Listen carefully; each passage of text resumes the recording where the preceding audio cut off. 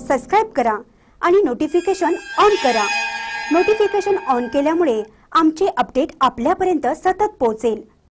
मोदी सरकारने केले नाही एकही आश्वासन पूर्ण. कर्नाटकची जनता देशाला परिवर्तनाचा संदेश देईल. मोठमोठ्या घोषणा देऊन सत्तेत आलेल्या मोदी सरकारने एकही आश्वासन पूर्ण केलं नाही. अनेक राज्यात सत्ता मिळवली तरी सुद्धा कर्नाटकात मात्र त्याची हवा चालणार नाही.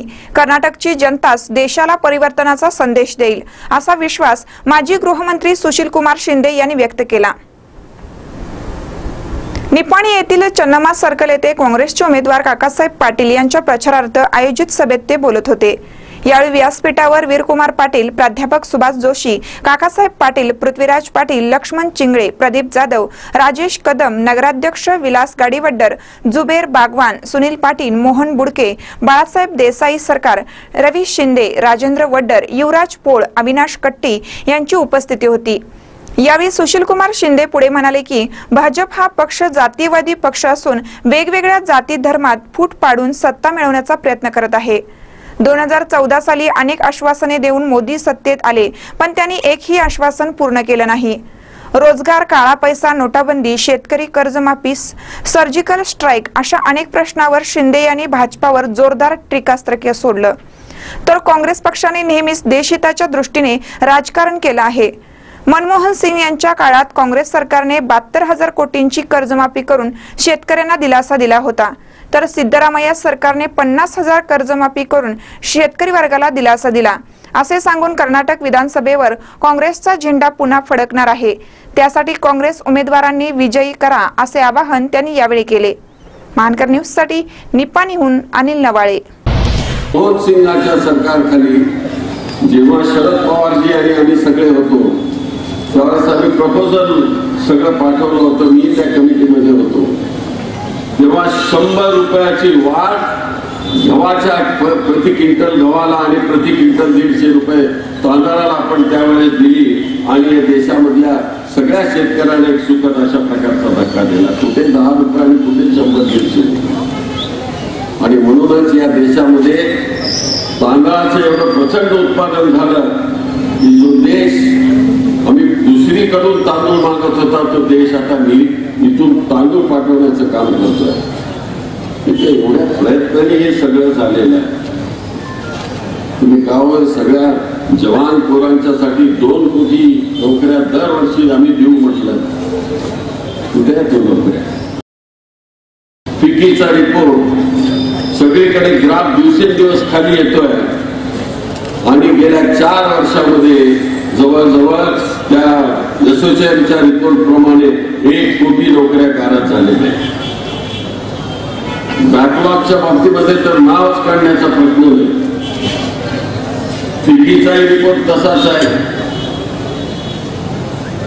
आपली आता अलीकडची माहिती दोन हजार सोळा मध्ये म्हणजे दोन कोटी आम्ही नोकऱ्या देऊ म्हटलं आणि ऍक्च्युअल जे नोकऱ्या दिलेल्या आहेत सोळा सतरामध्ये एक लाख सदोतीस हजार कुठे दोन कोटी कुठे एक लाख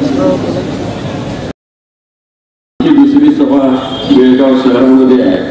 तिथून जायला जवळजवळ आणखी एक तास लागेल. पण तुम्ही ज्या तऱ्हेनं हे सगळं ऐकून घेतलं त्याबद्दल मी तुम्हाला धन्यवाद देतो. उद्याच्या बारा तारखेला आपण कुणाला मतदान करणार? त्यांचं चिन्ह काय आहे?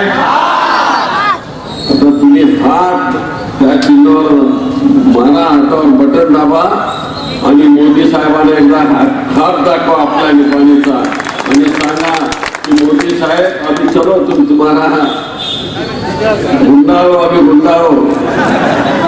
आमच्या आमच्या तिकडे सोलापूरमध्ये जरा उर्दू बोलत असताना अशीच भाषा वापरतो गुंडाळ. जसं धापते धापते धपकन म्हणतात ना, तसं ते गुंडाळ आहे. तर ते हे बंडल आता गुंडाळाला लावा त्या दिवसेंदिवस आज फॅक्टरी सगळ्या बंद होत आहेत. कालच प्रेस कॉन्फरन्स घेत होतो बेंगलोरमध्ये. सी एस आय म्हणजे ज्या फॅक्टरीला जो नफा होतो त्याच्यातून दोन टक्के जनतेला सांगण्यास धर्मादाय काम करण्याकरता म्हणून वाटण्याची नवी ताकद आम्ही सरकार सरकारने बहाल केलेली होती. ती आतापर्यंत एवढ्या प्रचंड प्रमाणामध्ये त्याच्यामधून पैसे मिळत होते तर ती आज जवळजवळ पंच्याहत्तर टक्क्यांनी कमी झालेली आहे. कुठे कुठे सगळं सांगत बसू.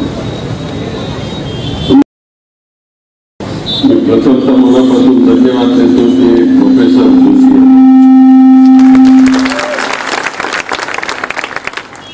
मला सांगण्यात आलं की जोशीजी एका सेक्युलर पार्टीमधून आतापर्यंत लढत होते. सर्व धर्म समभावाची बाजू घेऊन ते लढत होते. मला आश्चर्य वाटत होतं जातीच्या आणि धर्माच्या नावावर जे पक्ष चालवतात त्या पक्षाला तुम्ही मागच्या वेळेस कसा सपोर्ट केला हाच माझ्या मनामध्ये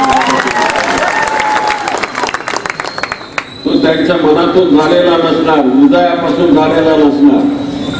ते एक विचारवंत आहे विद्वान आहे.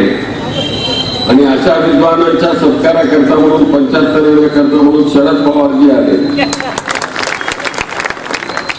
शरद पवारजीचा आणि सगळा संयुक्त महाराष्ट्राच्या पासूनचा सगळा हा परिसर मी होतो त्यांच्या सरकारमध्ये. अष्ट्याहत्तरच्या सरकारमध्ये पीडीएफच्या सरकारमध्ये मी होतो त्यामुळे मला सगळा इतिहास माहिती आहे. आणि म्हणून जोशी साहेब ज्यावेळेस मी मुख्यमंत्री झालो तेव्हा दोन्ही पक्षाची सरकार इथे येतात कर्नाटकामध्ये.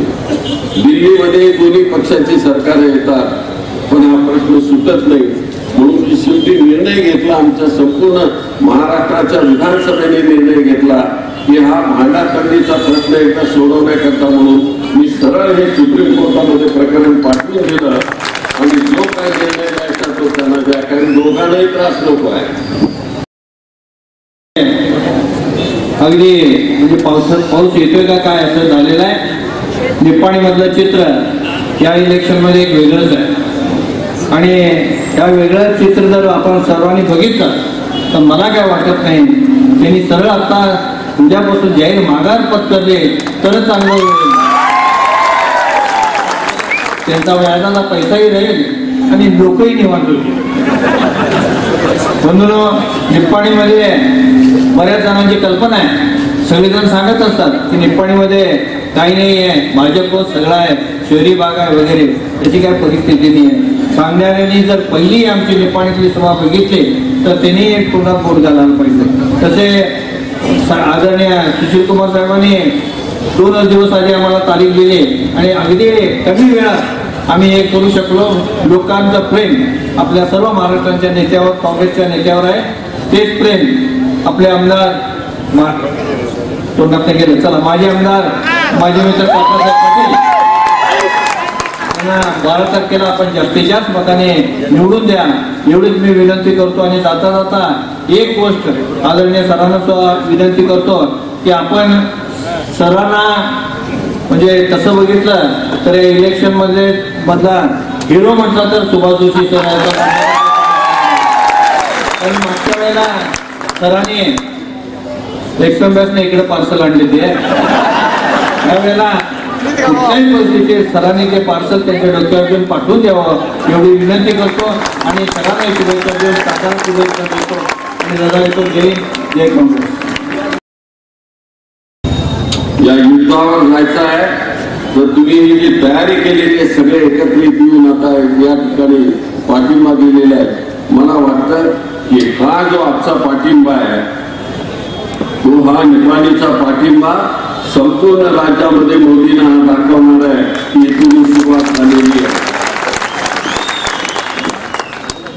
पूर्ण खात्री आहे की काकासाहेब पाटील गेल्या तीन निवडणुकांमध्ये तुमची सेवा त्यांनी केली त्यांचा पराभव झाल्यानंतरही आता अनुभव आलेला आहे काम करू शकतो काम करणारी व्यक्ती कशा प्रकारे आपल्याला नवीन अशा प्रकारची प्रेरणा देते. काकासाहेब पाटील नाव म्हटल्यानंतर मला जरा वाटलं होतं सत्तर पंचाहत्तर चौदा असाल. हा घडी तर जवान आहे. आणि कर्नाटकाच्या असेंब्लीमध्ये आपले खडतर प्रश्न घेऊन तिथं भांडण्याकरता असाच माणूस पाहिजे की तो दमदार आणि खोटा ठोकदार खात्री आहे की जवळजवळ तीन तास आपण इथं थांबलेला आहात.